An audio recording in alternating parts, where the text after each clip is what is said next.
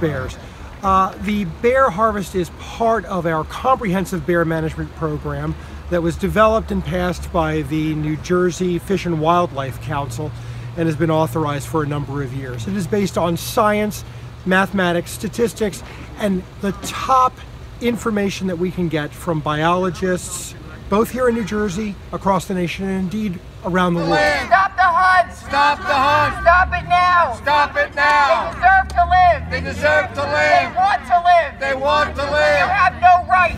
Well, they're still killing bears, and um, as long as they kill bears, a lot of us want to protest and make our opposition to this cruel behavior known, make it make it public. That's probably what they're doing. It's a very sad day in a way because the bear hunts will be going to, into a moratorium soon, and yet they're still killing them. And all the evidence is that uh, the bears are diminishing in population size. It looks like